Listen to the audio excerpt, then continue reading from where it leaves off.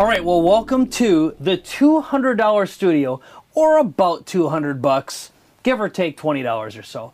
Here's what it consists of. Number one, the Kodak ZI-8 camera. And if you haven't watched my previous review of the Kodak ZI-8, here's what I love about it. It actually has an external microphone input, which is critical for shooting high quality video. The next thing that you have here is the Kodak is capable of shooting high definition, which is really good. In fact, the quality is equal to a 300 or even a, some $500 cameras I've actually used. And it, as you can see here, I have it mounted to a little tripod. I'll tell you more about that in a moment.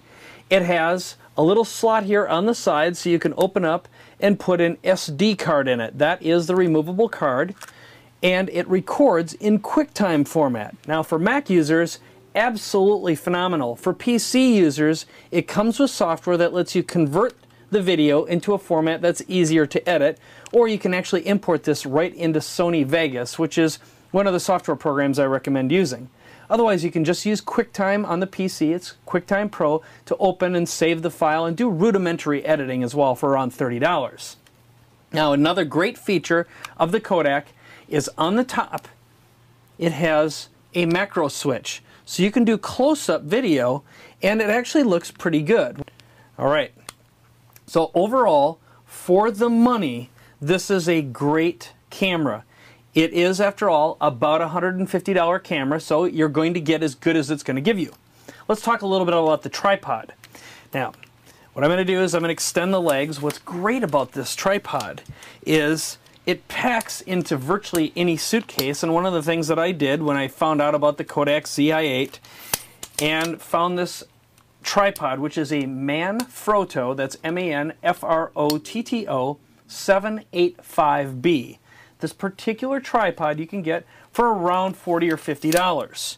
Now, you can get other tripods. I'm not saying this is for sure the one, but what I like about it is it's sturdy enough, it's easy to use, it's got a nice pistol grip, and as you can see here, you can actually adjust the height of this to this height, okay? It's great, okay? So the nice thing is you could actually pack three of these cameras, three of these tripods, and actually do a three camera shoot.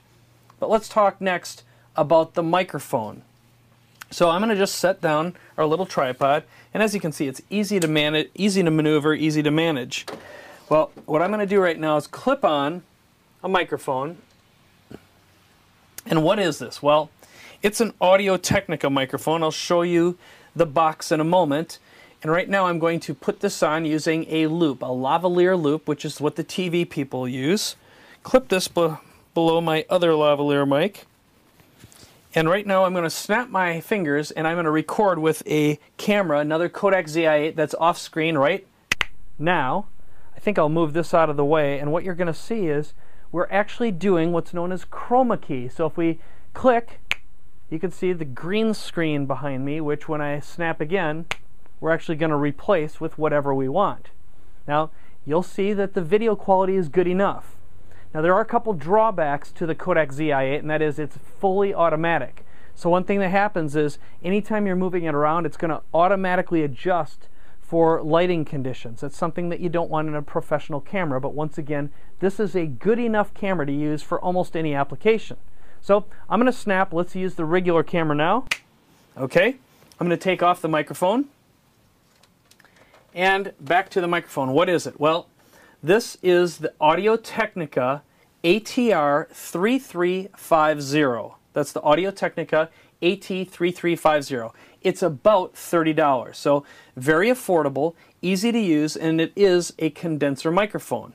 There's only one thing that I don't like about it, and that is it uses some batteries. It actually uses hearing aid batteries.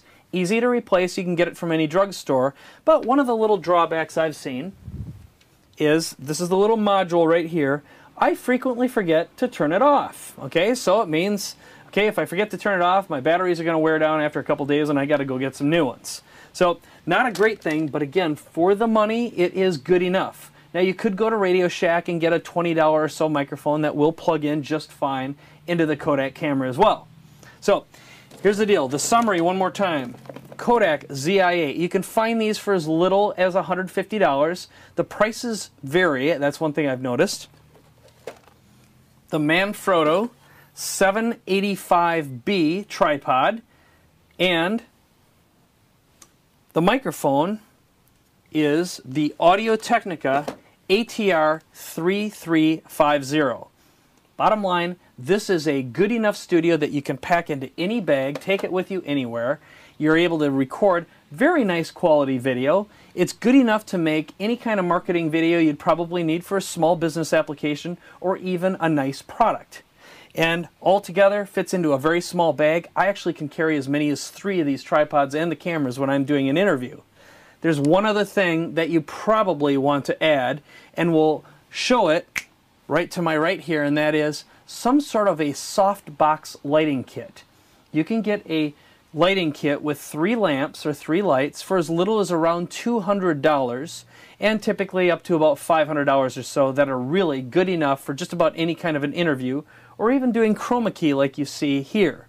Now, all of these are available. I'm going to provide links below the video as long as you're watching this on our blog page and you'll be able to click to order any of these from Amazon.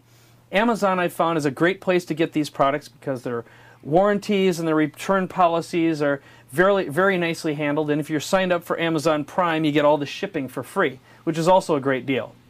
So, bottom line is you can put these together. Typically, the camera is around $150 or so. The microphone is around $30 or so. This particular tripod is in the 40 to $50 range, although you can find some for a little bit less. Again, you don't have to get this, but for the money, I like it a lot. So there you go. That's the $200 or so camera studio. Again, the only other thing you might want to consider buying is a nice little light kit. All the links are below. We'll see you in the next video.